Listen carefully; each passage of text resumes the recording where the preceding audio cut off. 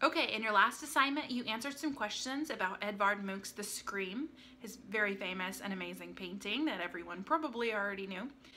Um, but it's that painting is famous for a reason. It is um, one that really captures the attention of the world through um, the use of the elements of art. So what I'm going to do is basically go through the elements of art just like you did in the questions that you were asked for the assignment and go over some of the key points um, just to point out some things that you may or may not have noticed when you were answering those questions. So, cut to the art instead of me. All right, your first question in your visual analysis of this painting was to describe the lines in this painting. So you might have noticed that there are a mix of both straight lines and wavy lines and swirly lines. So you see the, the bridge creates a very strong straight line going from the right to the painting towards the back. There's also a strong vertical orange bar here to counteract kind of all the waviness that's going on in the middle.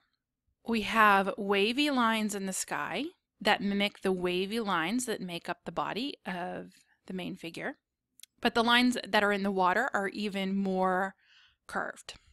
We also have some vertical lines that go straight up and down of these people over here. The lines, we also have a lot of brush strokes. So you can see the individual brush strokes of the artist in the different colors. We have a little bit of uh, white highlights, black, orange, even a little bit of blue in this bridge.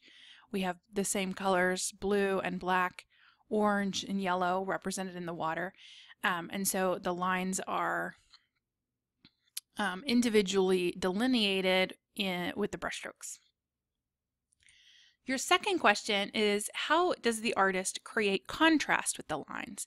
Now contrast is one of the principles of art. How does the artist create contrast? Now the biggest contrast that I see in this painting in the lines is the contrast between that really strong straight line with the curved lines of the sky and the man.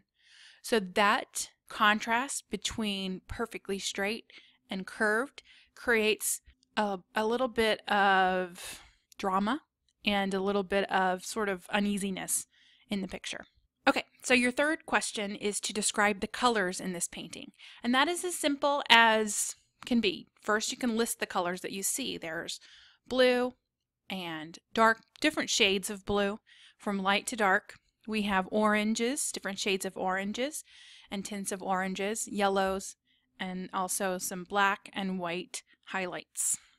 And if you look through the painting, that's pretty much all there is. Um, black, orange, blue, and white. The fourth question is to describe the contrast with the colors. How does the artist create contrast with color? Now, you are going to study a little bit of color theory a little bit later in this unit and learn about things called complementary colors. What a complementary color is, is it's opposite on the color wheel. When you put opposite colors next to each other, like black and white, you're going to see a, a, strong contrast and it's going to make it really pop and also they look really good together. And this is a set of complementary colors, orange and blue.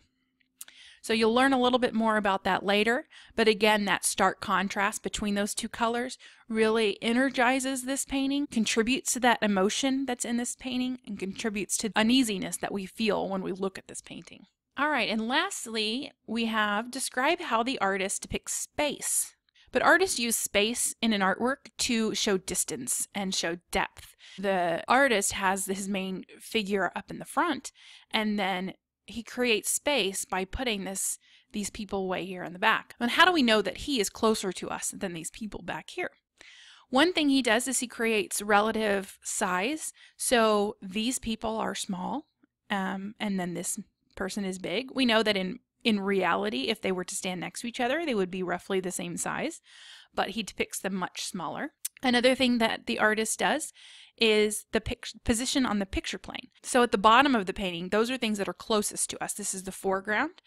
And then as you move up, that stuff is farther away. The artist also uses line to emphasize the space. Look at this really strong straight line that I've already mentioned.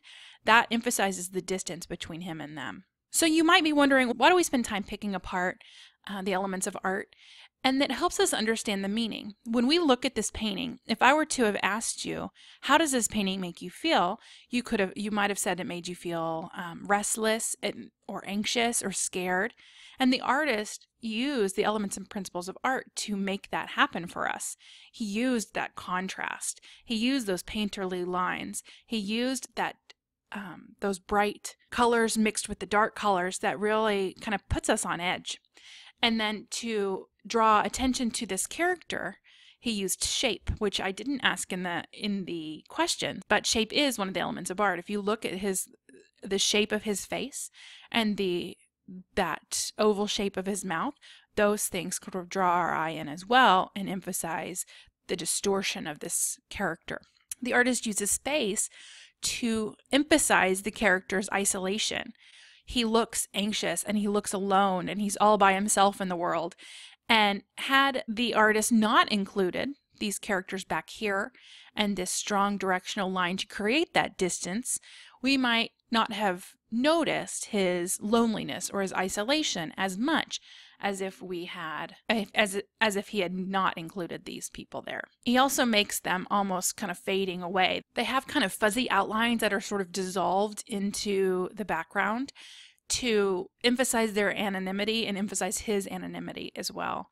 That even though there are people near him, that he still feels alone and anxious and scared in this place. So learning about the elements and principles of art helps us understand art better and makes us more aware of the choices made by the artist.